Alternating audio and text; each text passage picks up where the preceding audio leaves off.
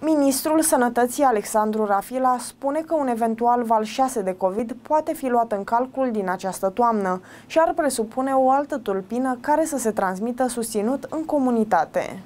Un eventual val 6, după opinia noastră, poate fi luat în calcul sau se poate discuta doar din toamnă, mai puțin în această primăvară, credem noi, dar monitorizăm lucrurile îndeaproape, încât să vedem ce se întâmplă, a transmis Alexandru Rafila. Din toamnă, cred că mai recent, pentru că deja ce e în, e în China, o explozie fantastică de COVID, s-a extins în Germania, în Italia și te la un pas. Vine încoace, că ăsta se duce, că na, noi circulăm.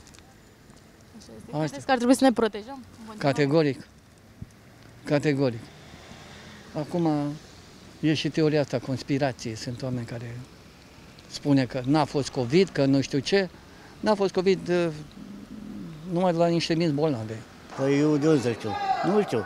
Și la fila de unde știe ele Dumnezeu? Poate o el Dumnezeu, o știe el ceva, nu știu. Dar va fi teamă dacă ar apărea din nou. Dacă am trecut prin atâtea, mai trece și bine la ce să facem. Na. Ne obișnuim, ne imunizăm și cu asta basta. Asta nu înseamnă că are venit din nou restricțiile, purtarea măștii? A, până aici.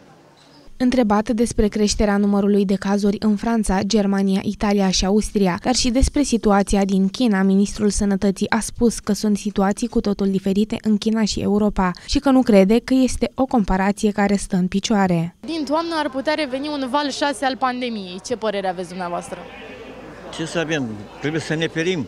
Că dacă ei spune așa, va veni. Cum a știut de asta că vine valuri, valuri, așa și cu ăștia. Da trebuie să ne protejăm în continuare. Da, să ne protejăm în continuare cu mască, cu ora la aglomerație, cum spun și ei. Nu, ei a spus să nu mai purtăm măști, să nu mai purtăm nimica. Și acum trebuie să le luăm din nou. Nu este îngrijorător atât timp cât vedem doar o creștere a numărului de cazuri și nu vedem o creștere a numărului de cazuri în spitale. Rămâne să vedem și în Europa de vest cum vor evolua lucrurile pe măsură ce se apropie vara. Creșterea poate să devină preocupantă în cazul în care numărul de cazuri mai mare se cuplează și cu un număr mai mare de spitalizări sau cazuri grave. Dacă însă creșterea numărului de cazuri este doar rezultatul unor forme ușoare de boală, atunci ea nu mai reprezintă o problemă de sănătate publică, a spus Alexandru Rafila.